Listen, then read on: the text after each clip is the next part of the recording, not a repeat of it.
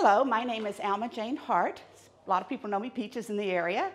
And we are at the Elks Lodge, number 567, and we are having our Flag Day ceremony. Uh, it's a wonderful celebration, a beautiful celebration here at the Elks that we, we have annually. We want the veterans and their families to be here because that's what Flag Day is all about. You know, the reason we celebrate the flag is because we have veterans. Uh, some have given their lives, some have gone to battle, and it's all about the flag and, and the, the veterans.